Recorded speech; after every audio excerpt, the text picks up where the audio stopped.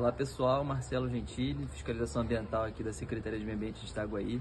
Estivemos agora há pouco em operação no mar, né, com o objetivo de identificar a localidade do navio graneleiro que saiu aqui do porto de Itaguaí, da CSN, navio carregando minério de ferro e teve uma colisão próximo do porto de Itaguaí.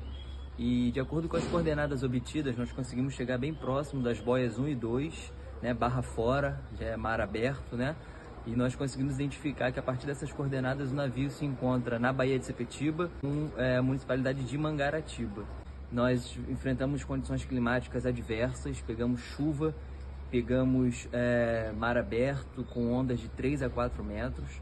Nós pudemos ficar a cerca de uma milha náutica do navio graneleiro e a partir disso nós vistoriamos toda a faixa de mar até o local. Dentro do percurso nós pudemos observar que nas faixas de mar não foram identificadas nenhum tipo de mancha de óleo aparente, hoje, dia 18 de maio, 11h36 da manhã.